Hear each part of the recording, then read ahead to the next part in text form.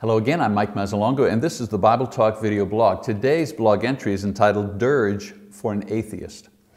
Shortly before he passed away, atheist and writer Christopher Hitchens, in an interview with NPR Radio, said that only the weak turn to faith when facing death.